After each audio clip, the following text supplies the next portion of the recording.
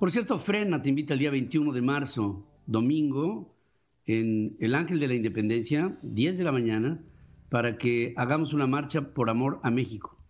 Y después, a las 11, en la Plaza de la República, un juicio político a los actos criminales del presidente Andrés Manuel López Obrador. Esta marcha que convoca Frena es una en donde esperamos que haya infinidad, infinidad de para que no digan mañana, es que llegaron 3000, es que llegaron 200. Tenemos que llegar cientos de miles, tenemos que llegar más de un millón de personas a, a los entornos del Ángel de la Independencia, porque esta es la última marcha en la que se habla así y la actitud es esta. Después, ante la intransigencia de un gobierno que deteriora todo en el país, tendremos que hacer otras cosas. No lleguemos a ese extremo. Hablemos de amor por México.